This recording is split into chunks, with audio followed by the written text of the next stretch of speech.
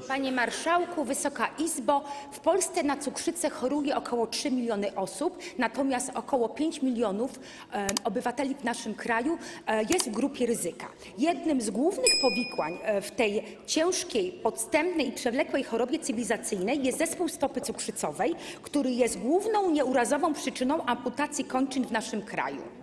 Bardzo przykre dla pacjentów rany powstają wskutek urazów, których chory e, nie odczuwa ze względu na uszkodzenia zakończeń nerwowych. W Polsce wykonuje się niestety kilkanaście tysięcy amputacji kończyn rocznie ze względu na brak kompleksowego leczenia tego ciężkiego powikłania. Niestety ustawia nas to na szarym końcu Europy.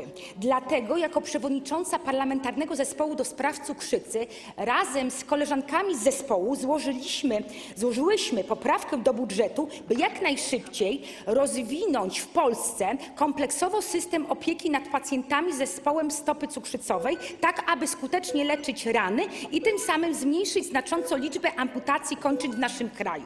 Jest to oczywiście pilna sprawa, dlatego szczególnej uwadze polecam szanownym Państwu tę konkretną poprawkę, licząc oczywiście na pełne poparcie całej Wysokiej Izby. Dziękuję ślicznie za uwagę. Dziękuję bardzo. Pan